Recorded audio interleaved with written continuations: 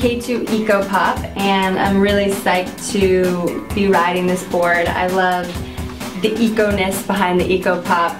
Um, basically this is just a very minimalistic construction that um, gets rid of a lot of the materials, excess materials in a snowboard that you don't necessarily need um, while still maintaining a super high-end progressive board.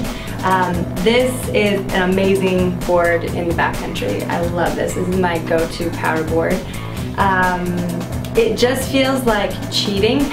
you don't have to spend all of your time on your back leg all day. Uh, you can just kind of hang out, center it up, and it floats on top of everything. And that's what I love about the Eco Pop.